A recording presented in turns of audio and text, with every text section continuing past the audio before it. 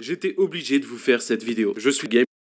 Désolé, mais je suis jean fils. J'ai dans mes mains 100 000 V-Bucks et si Ludo arrive à terminer ses death runs avant moi, il remporte les V-Bucks. J'espère que vous êtes tous game. Installez-vous confortablement parce qu'aujourd'hui, on va comparer nos membres. On se retrouve pour une nouvelle vidéo sur Furious Jumper. Ce sacre maintenant, vous savez ce qu'il vous reste à faire. Je vous embête pas plus et je vous souhaite un très bon visionnage à tous.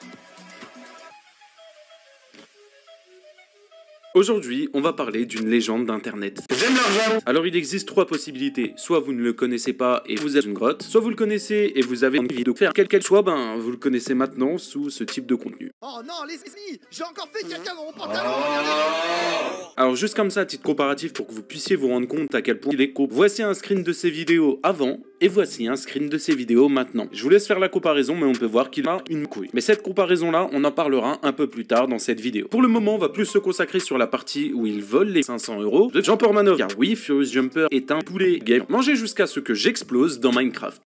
Grenade, grenade Attention, grenade On peut voir dans un premier temps que la miniature est complètement plagiée. À droite, on peut voir tous les couilles de Furious Jumper. Et à gauche, le sa merde, l'âme putain. Personnellement, pour qualifier ce que je viens de voir, je dirais que c'est du vol ou du plagiat. Regardez maintenant cette triple merde. Ah, Bizarrement, on a une chaîne, encore tout nu. Ces terrains de jeu devraient être interdits. Ta gueule, juste ta gueule. Je ne sais pas si vous vous rendez compte à quel point c'est une dinguerie. J'ai envie de faire quelque Pour l'anecdote, j'avais répondu au tweet bientôt une squad PTDR et devinez quoi? Apparemment, seules les filles peuvent entendre ce son. J'aime l'argent Comme c'est bizarre, les trois games sur qui j'ai déjà fait des vidéos pour dénoncer leurs pratiques dégueulasses. Unchain, Jean-Fils et l'étoile noire. Plus rien ne me choque de ces trois noirs.